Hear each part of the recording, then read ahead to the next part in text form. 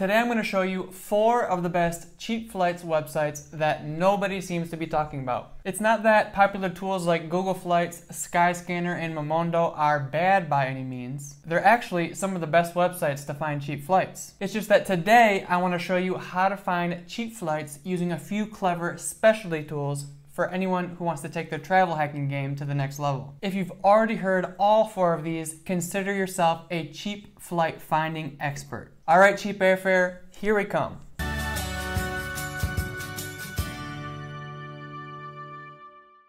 First up on our list is Skiplagged, and Skiplagged shines in its ability to help you find hidden city flights. Hidden city flights are when you can save money by getting off at your layover instead of your final destination. For example, let's say you wanted to fly from New York to Orlando and for some reason the tickets were super expensive.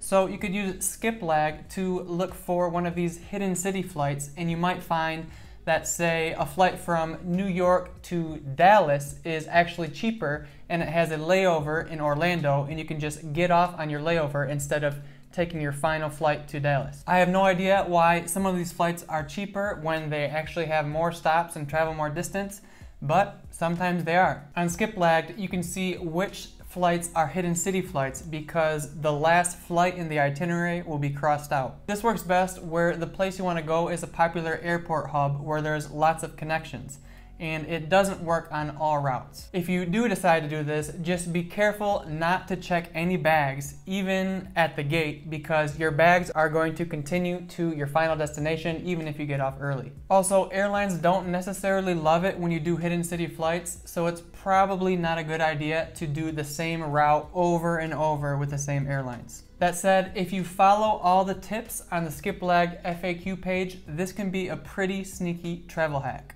Speaking of travel hacks, I made a free download revealing 15 tricks that professional travelers use to pay about a third of the price as everybody else. So if you're interested in saving money, grab that down below. The next tool up on the list is called ITA Matrix.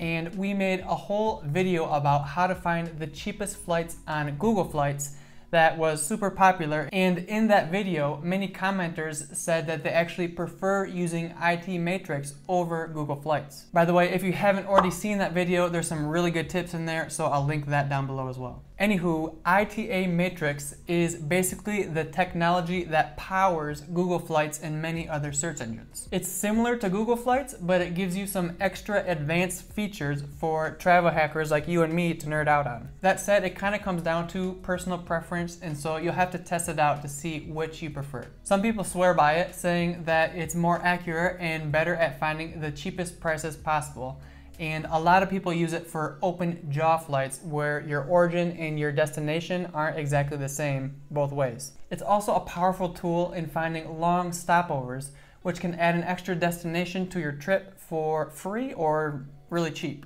For some of these search features, you need to know how to harness all the search power that ITA Matrix gives you and maybe I'll make another video about that in the future, but in most cases, it's going to take a little bit to get the hang of it. The last tool I'm going to show you guys makes finding these long stopovers dead simple and is a lot more user friendly. Now one thing to know about ITA Matrix is that unlike Google Flights, you can't book your flight directly with ITA Matrix.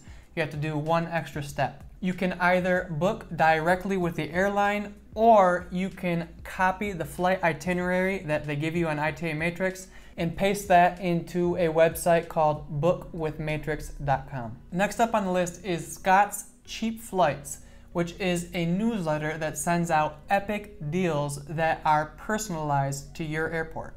You set the departing airports that you're interested in, and whenever they find these awesome cheap deals, they send them directly to your inbox. And they only send the best deals usually 40 to 90% off. These usually aren't last minute deals either, so you'll have plenty of time to plan your trip after you buy a ticket. They also tend to shy away from more basic, uncomfortable airlines, so when you see their deals, you know they're for actual quality flights. Speaking of which, if you're thinking about flying with Spirit Airlines, don't book your ticket without first watching our video on tips for flying with Spirit Airlines which includes our nightmare experience. Scott's Cheap Flights has both free and paid plans, but I just recommend signing up for the free plan to start. The free plan will send you all the deals for international flights. If you fly domestically a lot, you might want to sign up for their premium plan, which just costs a few bucks per month. Premium members save an average of $550 per ticket. So even if they just help you find one flight,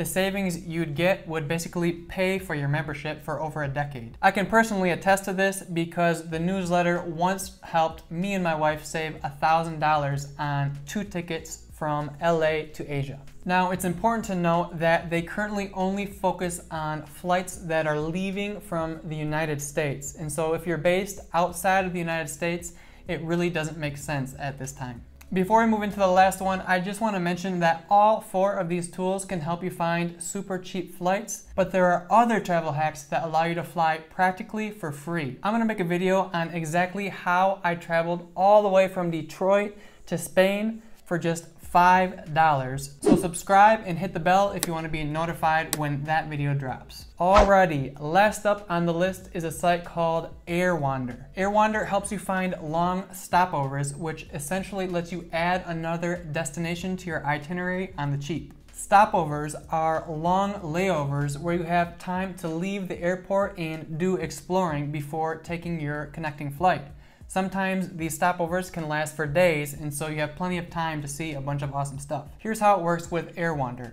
First, you search for your origin and your destination like you normally would. Then all you have to do is hit this little plus button. When you do this, it will search for flight itineraries that have long layovers and it will tell you exactly how much extra it would cost to add a pit stop into your itinerary. You can even set the length of the layover that you're looking for. So if you want to explore for, let's say, three days before moving on to your final destination, it will tell you exactly how much extra it would cost to do that. In some cases, it's just a few dollars extra to add a whole nother destination to your trip.